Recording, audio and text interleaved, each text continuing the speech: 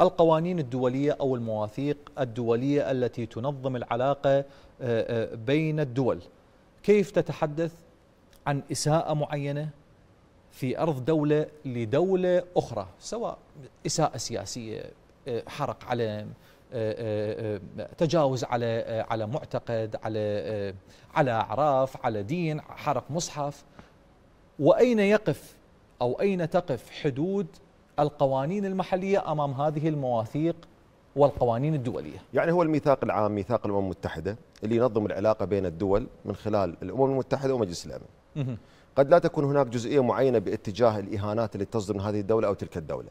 لكن آه، قانون حقوق الإنسان القانون السامي لحقوق الإنسان نص في المادة 20 منه على أنه يحظر أي إساءة تصدر حتى لو كانت لحقوق الإنسان، أي إساءة تصدر من فرد أو شخص اتجاه ديانة أو معتقد.